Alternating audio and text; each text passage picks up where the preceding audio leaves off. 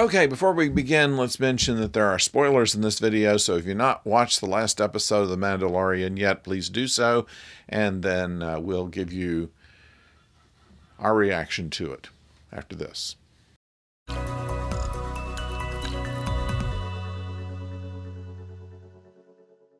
Hello out there, I'm the oldest nerd, and it's no surprise that this guy here saves the day. Uh, however, uh, it was a good ensemble in all of this. Now, there are a number of things that we expected that were wrong. There are a number of things that I kind of wished wouldn't happen and didn't happen. And uh, some good things that happened I wouldn't have expected. First of all, the things that didn't happen. Uh, one thing we found out was Gideon was not trying to raise a new emperor, he was trying to make clones of himself and create an unstoppable army. Uh, give himself, with all his talents, uh, uh, clad them in Beskar, and then uh, imbue them with the Force. And that way it would be unstoppable. The latter part, I don't know exactly how you do that. Uh, if you get a bottle of midi-chlorian or something and just, you know, give everybody a drink, I don't know how that works. Uh, however it is, that was his plan, and that was foiled, presumably. Now, this was only on the base on Mandalore. It doesn't mean that he didn't have other clones on his ship or uh, in other places, uh, perhaps in uh, in Coruscant. So we're we're not absolutely certain that there are not more clones of Moff Gideon. Um, it is he's he's too an too good an actor, I would say, uh, that uh, uh, Giancarlo Esposito would uh, not uh, appear in another season of The Mandalorian. He makes too good of a bad guy. Uh, so my guess is, despite the fact that we saw him die, did you really? Uh, we saw him engulfed in flames, but uh, there is a way that uh, if you don't see the body, that it's not necessarily uh, means that he's gone. And uh, my guess is that he'll be back. We didn't see anything from the armorer. We didn't believe that she was all on the up and up and would reveal herself to be in cahoots with Gideon, perhaps uh, having uh, led them all to his base for the ambush. But uh, if she did or if she didn't, that was not revealed here. Uh, she only went back to her uh, duties of. Um, basically baptizing people in the Mandalorian waters uh, and changing the um, apprentices uh, in into uh, full members of the Children of the Watch. However, uh, when Mando presents Grogu, the armorer says, "Well, uh, he can't say the words, so uh, without that, he can't do this, and uh, he would still be a foundling." And Din Djarin said, "Well." Uh, uh, he can be my ward. And she says, uh, um, okay, so from now on, you will be Din Grogu.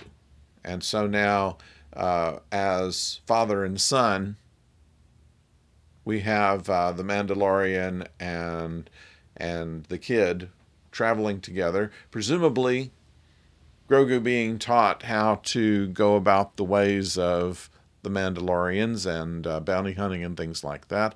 But what it does is provide a good reset.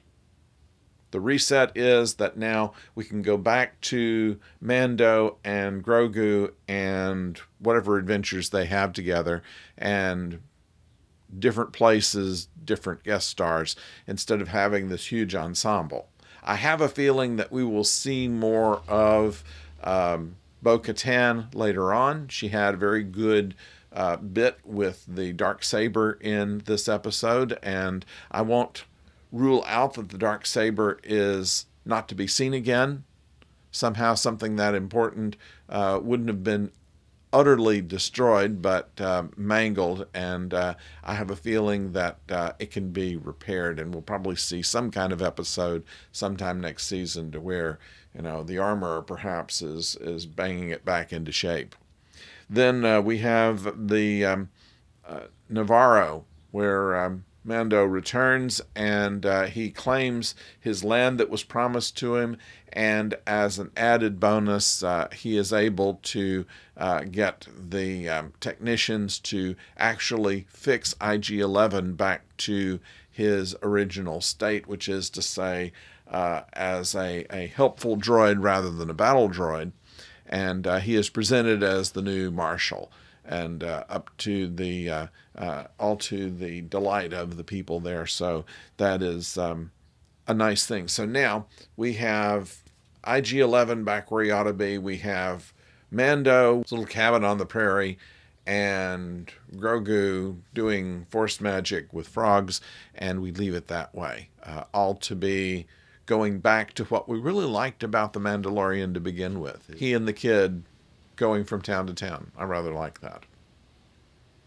So, uh, and it leaves just about everything else open, and, and that's also good for a continuing story. They've said that they're going to go in multiple seasons, so uh, without getting too much into a single adventure like what they're going to do with Mandalore now that they're back, are they going to colonize? I mean, it's it's not going to be quite as exciting going forward as it was to this point.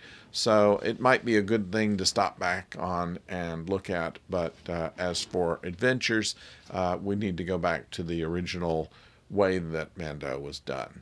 So that looks like what they're doing, and I have to say that they did it very well. The battle scenes were great. Uh, the crashing of the capital ship was also very well done. The fight scenes were well choreographed.